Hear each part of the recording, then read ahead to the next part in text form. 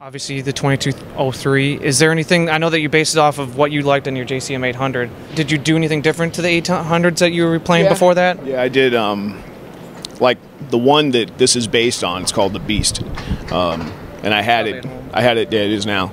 I had it sent to Marshall to find out what was so great about it. You know, see if anybody modded it over the years before I got it. And the reason that head was so good, like Marshall has parameters that every transistor, everything has to be within this range. My my entire head, everything was straight up, like it was the perfect head.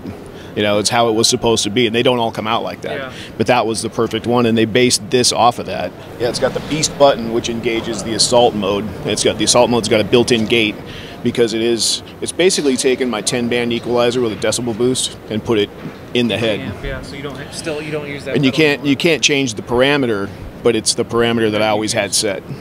Um, and you can add more of it or less of it. It's really cool. I mean, I could I could go anywhere in the world, and if this rig didn't show up, I don't care. I'll play through a cable if I have to.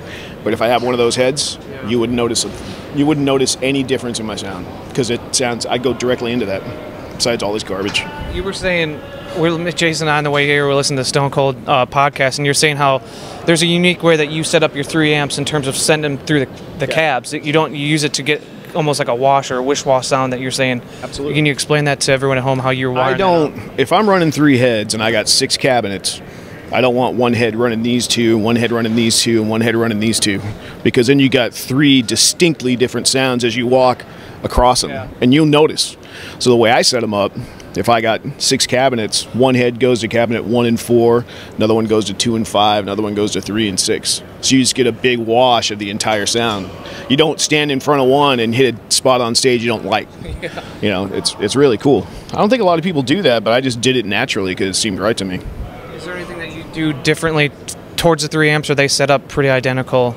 Uh, They're pretty close, but I mean, everyone's different. Yeah. You know, and my bottom one always sounds best. I don't know why. Like there's two we swap in and out of there, and it just blasts on the other ones. And for most nights, uh, assuming a, venue as big as the Aragon, that you're you're running all three all the time. Okay. The cabs are you using the speakers? Do you? They're just stan- uh, standard mode four. Okay. And I forget what's in them because I'm a dick like that. What do you prefer the mode fours? I know those aren't the mode fours sound really good with my signature head. Okay.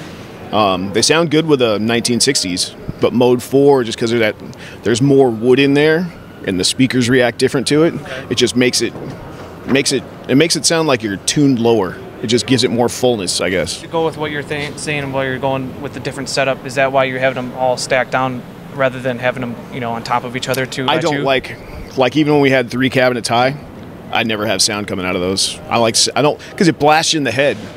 You know when it's when it's coming from here, it's just a comfortable, warm, loud.